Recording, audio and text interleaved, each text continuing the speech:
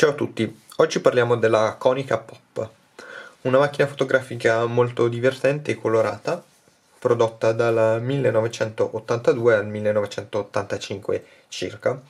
Questa fu una tra le macchine fotografiche compatte più diffuse negli anni 80, ne furono prodotte circa un milione e mezzo e ciò la rese appunto una macchina molto interessante soprattutto perché è, è facile da utilizzare e adatta a tutti.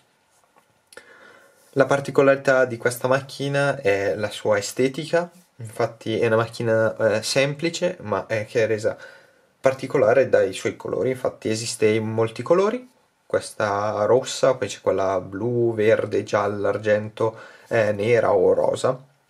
E in base anche al, al colore il prezzo può variare molto.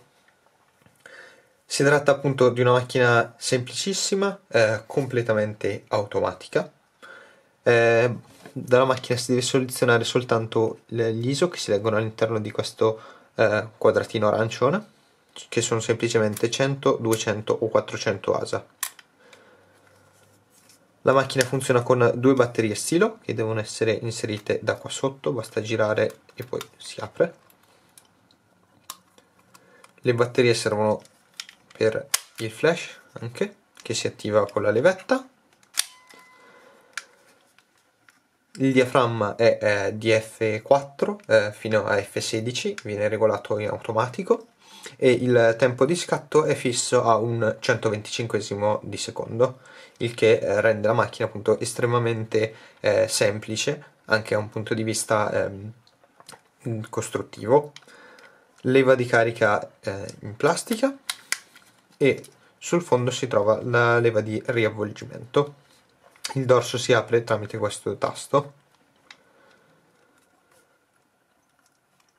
Un'altra particolarità di questa macchina è il suo tappo con questa forma strana che se posizionato nel modo corretto verrà visualizzato all'interno del mirino e che ci farà capire che appunto c'è il tappo e quindi non, non dobbiamo scattare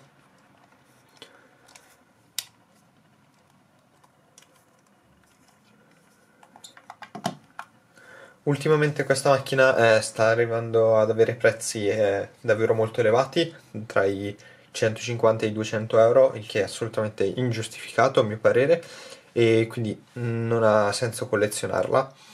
Però talvolta li si possono trovare ai mercatini a prezzi molto convenienti, magari tra i 20 e i 30 euro. Io questa l'ho pagata eh, 25 euro a un mercatino.